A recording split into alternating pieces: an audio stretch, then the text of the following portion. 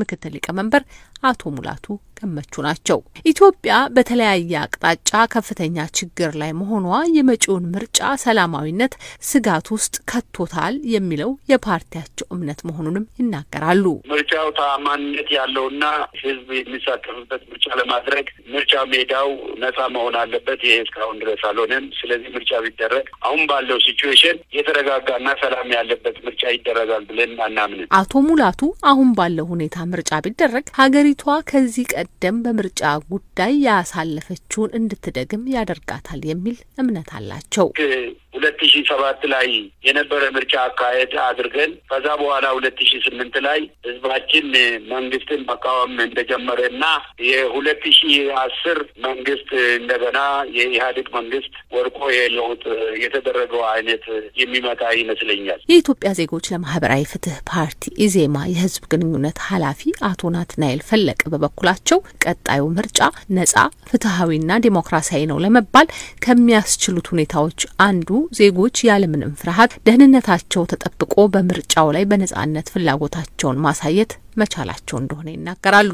ከዚሁ ጎን ለጎን ደግሞ ፖለቲካ ፓርቲዎችም በሁሉም ምርጫ በሚካሄድባቸው አካባቢዎች በነጻነት ተንቀሳቅሰው አቋሞቻቸውን ማስረዳት መቻላቸው እና ከህብረተሰቡ ጋር መነጋገር መቻላቸው ምርጫውን ነጻና ፍትሐዊ ወይም ዲሞክራሲያዊ ከሚያደርጉት ግብአቶች መካከል ወሳኞቹ ናቸው። ይህንን ለማድረግ እንግዲህ በሀገራችን ያለው የጸጥታ ሁኔታ አስተማማኝ ደረጃ ላይ መድረሱ በጣም አስፈላጊ ነገር ነው። ከዚህ አንጻር ጥርጣሬ ውስጥ የሚከተን ነገር አለ ይላሉ። የመንግስት የጸጥታ መዋቅሮች ችግሮችን አስቀድመው መተንበይና ራሳቸውን በዛ ልክ አዘጋጅተው ችግሮች ከመፈጠራቸው በፊት የመከላከል እርምጃ የመውሰድ አቅማቸው ላይ ክፍተት እያስተዋልን ነው። ከዛም በኋላ ደግሞ ችግሮች ተከስተው በሚገኙበት ጊዜ የፈጥኖ እርምጃ ወስደው ሊያደርሱ የሚችሉትን ጉዳት ከመቀነስ አንጻር ክፍተት እንዳለ እያስተዋልን ነው እና ይሄ ነገር በቶሎ ሊስተካከል ይገባዋል፣ አፋጣኝ እርምጃ ይፈልጋል ብለን እናምናለን። የአማራ ብሔራዊ ንቅናቄ አብን ምክትል ሊቀመንበር አቶ ዩሱፍ ኢብራሂም ፓርቲያቸው ወደ ምርጫ ከመግባቱ በፊት ግምገማ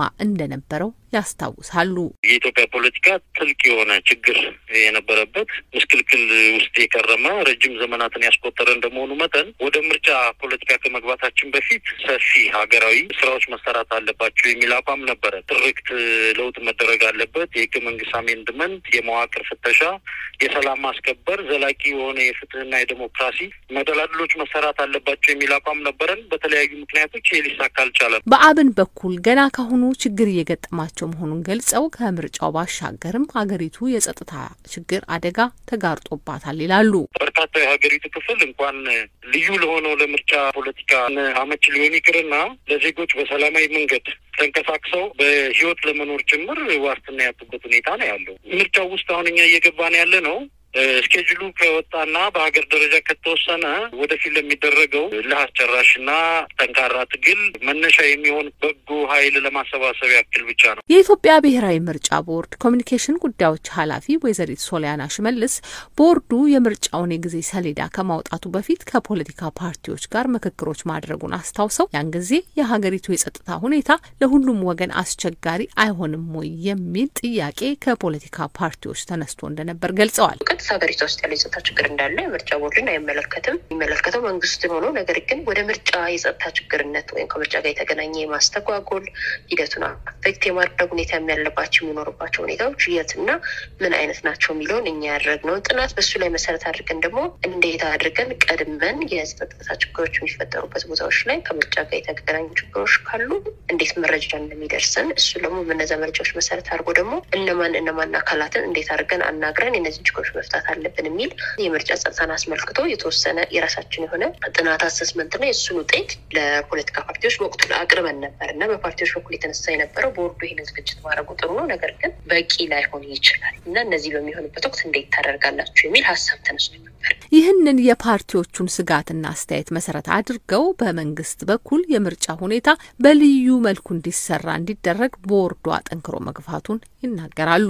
ምክንያቱም የሌሎች የጸጥታ እቅዶች ሀገሪቷ ውስጥ ይኖራሉ። የተለያዩ ጸጥታ ተቋማት ያላቸው የሚሰሯቸው። ነገር ግን ምርጫ ደግሞ አንድ ጊዜ በሁሉም ቦታ የሚደረግ ስለሆነ ትንሽ ሰብሰብ ያለ comprehensive የሆነ እቅድ ያስፈልገዋል። ስለዚህ በዚህ እቅድ መሰረት የምርጫ የጸጥታ እቅዱን እንዲያዘጋጅና እዛ ውስጥም ደግሞ እኛ የምርጫን አስመልክቶ ምክንያቱም ምርጫ የቴክኒክ የሆኑ ጉዳዮች አሉት። ሌሎች ጸጥታ አካላት የማያውቋቸው ምርጫ ቦርድ ብቻ የሚያውቃቸው በሙያው የተነሳ technical ተቋም ስለሆነ የሚያውቃቸው አሉ። ስለዚህ እነሱን አስመልክተን በእኛ በኩል ግብአት እንሰጣለን የሚል ሀሳብ አንስተን መንግስት በኩል ያው የጸጥታ task force እና የጸጥታ እቅድ አዘጋጅቶ የተለያዩ ይዞች ተደርገዋል። ቦርዱም ተሳትፎበታል። በዚህ task force ውስጥ ረቡ የጸጥታ እቅዶች ላይም ደግሞ ከምርጫ አንጻር መገባት ያለባቸው ነገሮች፣ ጊዜዎች ደግሞ በተለይ በዚህ ጊዜ ላይ ምን ይደረጋል፣ በዚህ ጊዜ ላይ ምን ይደረጋል የሚለውን ከሰሌዳውም አንጻር ለማየት እየሞከር ነው። ተስፋ የምናደርገው የምርጫ ጸጥታ እቅድ በመንግስት በኩል የተዘጋጀ ያለው እና እኛ የምንሳተፍንበትና ግብአት እየሰጠንበት ያለ ነው ውጤታማ ሆኖ ምርጫውን በጣም በአስቸጋሪ በሆነ መልኩ significant በሆነ መልኩ affect የሚያደርግ የጸጥታ ችግር ሳይኖርብን እናስፈጽማለን ብለን ነው እንግዲህ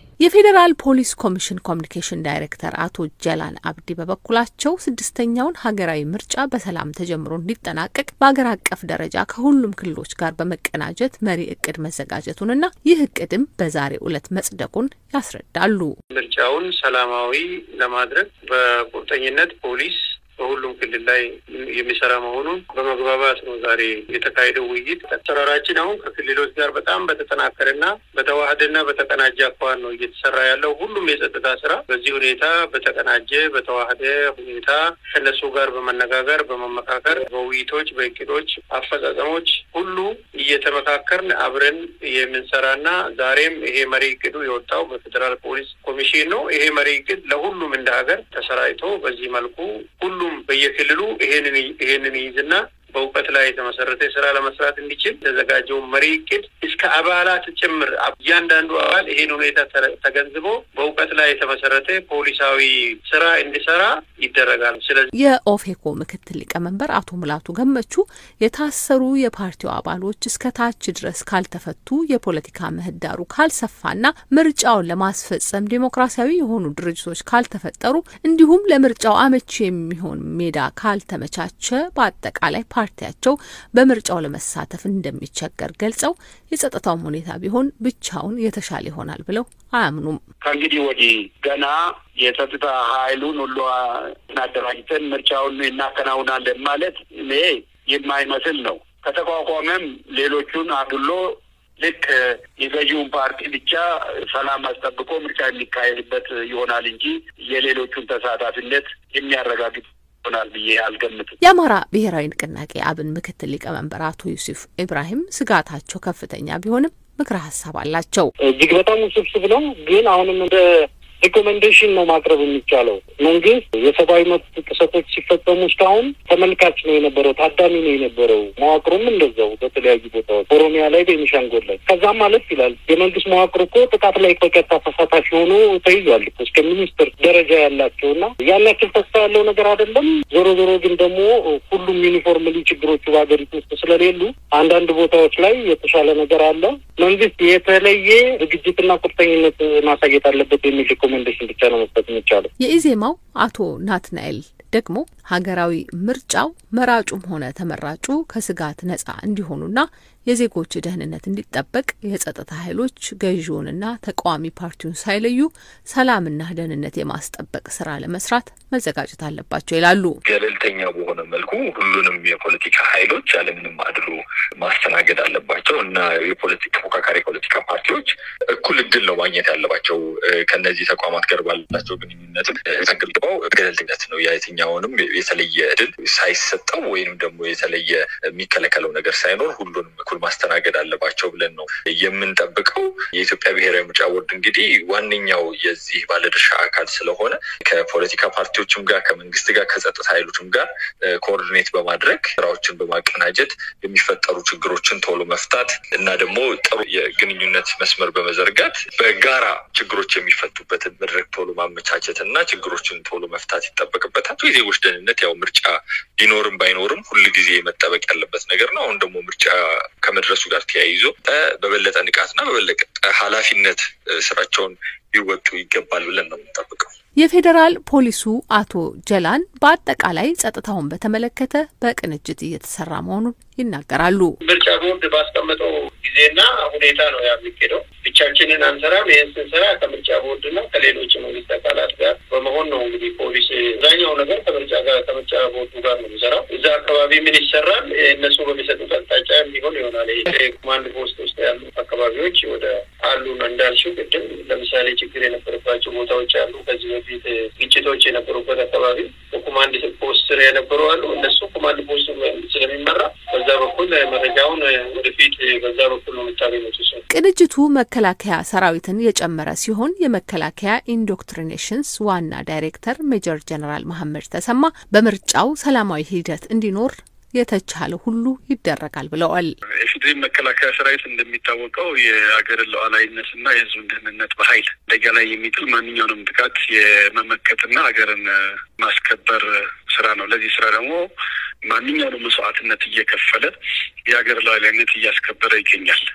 አሁን ላይ የወንጀለኞችን የማደን ዘመቻው በፌዴራል ፖሊስ እና በመከላከያ ተጠናክሮ የቀጠለ ሲሆን በማንኛውም የሀገሪቱ አካባቢ የሚፈጠረው የጸጥታ ችግር በአግባቡ እየመከተ ሰላም እያረጋገጠ ያለበት ሂደት ነው። ስለዚህ የሁለት ሺ አስራ ሶስት ምርጫ ስራንን በተመለከተ ከጸጥታ ጋር በተያያዘ መከላከያና ሌሎች የጸጥታ ኃይሎች በጋራ የሚሰሩ ነው የሚሆነው። ይህን መስራት የሚያስችል ዝግጅትም ተደርጎ እየተሰራበት እንዳለ ነው መግለጽ የሚቻለው። በእርግጠኝነት በጸጥታ ችግር ምክንያት የሚደናቀፍ ምንም አይነት የምርጫ ጣቢያ እንደማይኖር ከወዲሁ መግለጽ ይቻላል። ምርጫውን ለማስፈጸም በዝግጅት ላይ የሚገኘው ቦርዱ የሰላምና ጸጥታ ስራ በዋናነት የመንግስት ቢሆንም የሁሉም ወገን መልካም ፍላጎት፣ ቅንጅትና በጋራ መስራት ይጠይቃል ብለዋል።